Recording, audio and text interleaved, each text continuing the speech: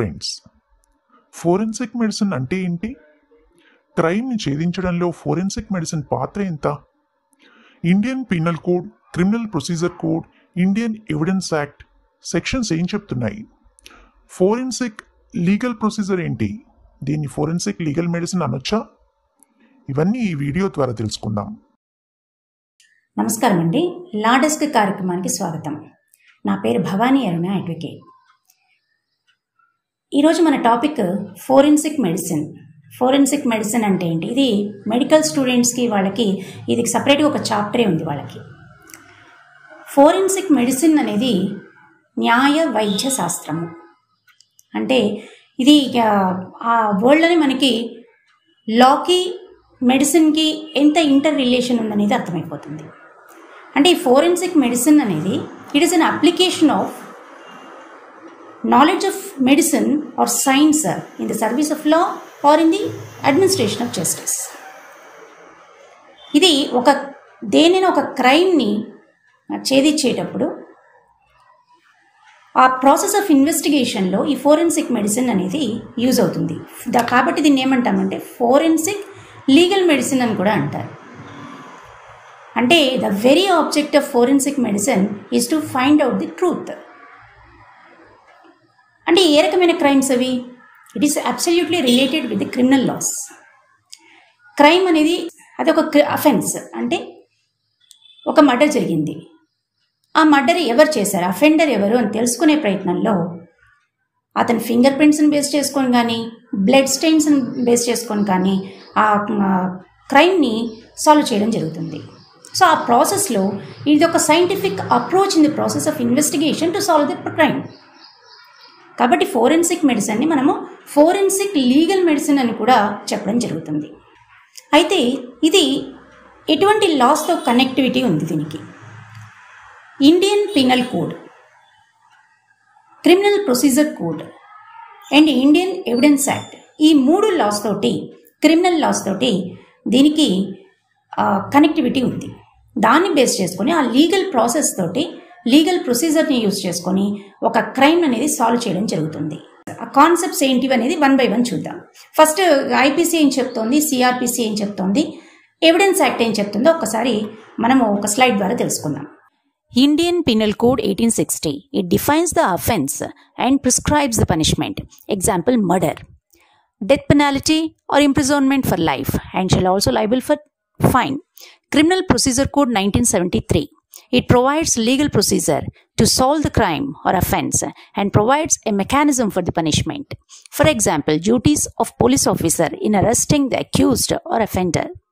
Indian Evidence Act 1872. It deals with the establishment of evidence in solving the crime and process of production of evidence, uh, documents or oral before the law. For example, by collecting blood samples, fingerprints, etc.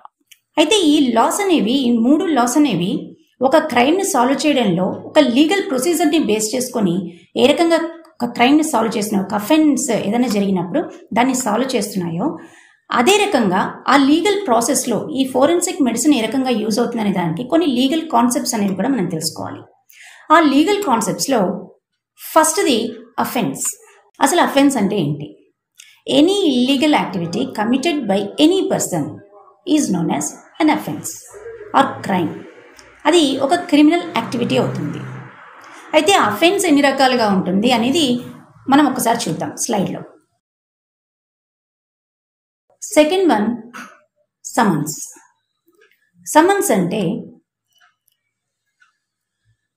ఇది ఒక legal document ఈ document ప్రకారం ఒక court విట్నెస్కి కానీ ఒక అక్యూజ్డ్కి కానీ విట్నెస్కి కానీ కోర్టుకు పలానా టైంలో పలానా డేట్లో పలానా కోర్టు హాల్కి రావాలి కోర్టుకు అటెండ్ అవ్వాలి అని ఒక ఆర్డర్ పాస్ చేయడం అనమాట ఆ సమన్స్ అనేది రిసీవ్ చేసుకున్న వ్యక్తి ఖచ్చితంగా కోర్టుకు చెప్పిన టైంకి ఆ కోర్టు హాల్కి అటెండ్ అవ్వాలి.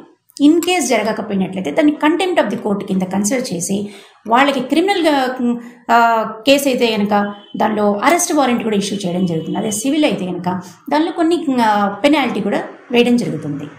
అసలు ఆ సమన్స్ ఎన్ని రకాలుగా ఏ సెక్షన్స్ కింద సమన్స్ సిఆర్పిసిలో ఏ సెక్షన్స్ కింద సమన్స్ ఇష్యూ చేయొచ్చు అనేది స్లైడ్లో చూద్దాం.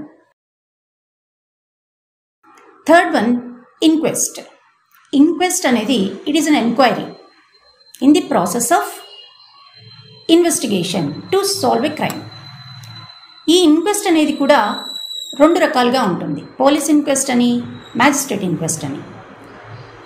పోలీస్ ఇన్క్వెస్ట్ అనేది ఒక క్రైమ్ జరిగినప్పుడు ఒక మర్డర్ కానీ ఒక రేప్ కానీ యాక్సిడెంట్ కానీ లేదంటే సూసైడ్ డెత్ కానీ డౌరీ డెత్ కానీ ఇలాంటివి ఏలైనా సెక్షువల్ అఫెన్సెస్ కానీ ఏవైనా ఒకటి జరిగినప్పుడు అఫెన్సెస్ అంటే ఇట్స్ రేప్ అనుకోండి.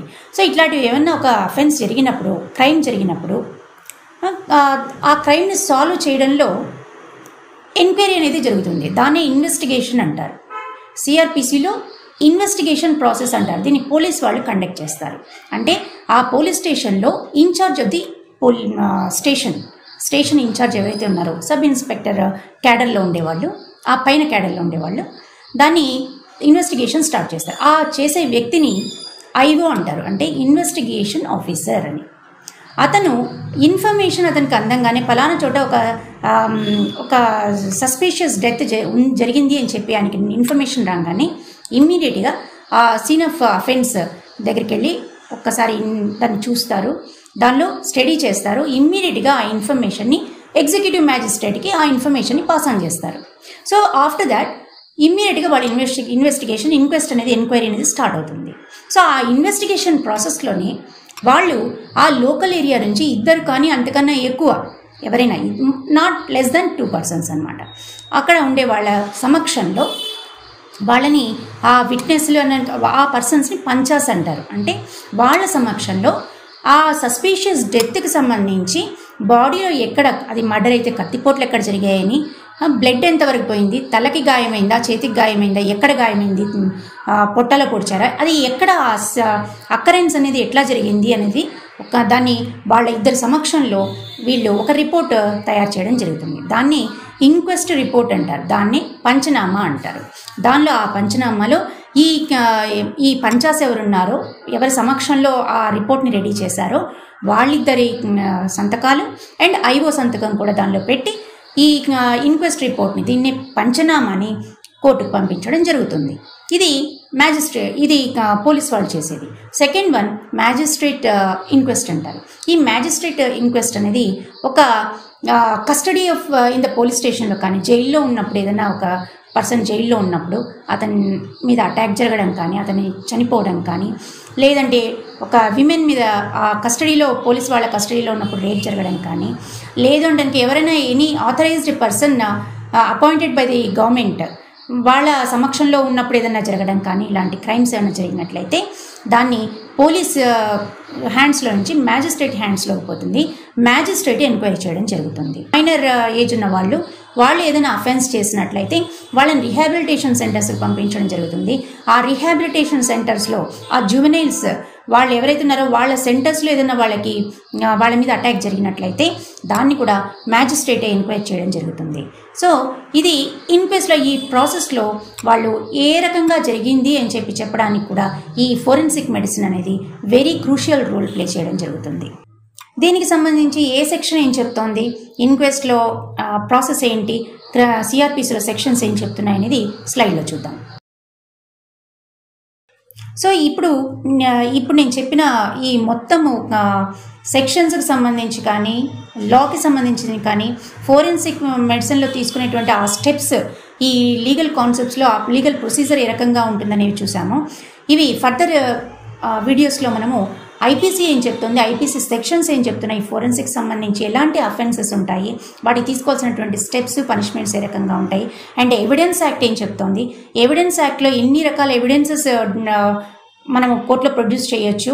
ఆ ఎవిడెన్సెస్కి ఫోరెన్సిక్ మెడిసిన్ అనేది ఏ రకంగా యూజ్ అవుతుంది? దాన్ని ఎలా ఆ ఎవిడెన్సెస్ని ఎలా కలెక్ట్ చేయాలి? ఎలా ఎస్టాబ్లిష్ చేయాలి అని చెప్పేది నెక్స్ట్ వీడియోస్లో మనం చూద్దాం. ఈరోజు మంచి మాట. నీ విజయాన్ని అడ్డుకునేది నీలోని ప్రతికూల ఆలోచనలే. క్రింద పడ్డామని ప్రయత్నించడం ఆపితే చేసే పనులు ఎప్పటికీ విజయం సాధించలేము. ఈ వీడియో కనుక మీకు నచ్చినట్లయితే లైక్ చేయండి షేర్ చేయండి మరిన్ని వివరాల కోసం సబ్స్క్రైబ్ చేయండి పక్కనున్న బెల్ ఐకాన్ని ప్రెస్ చేయండి.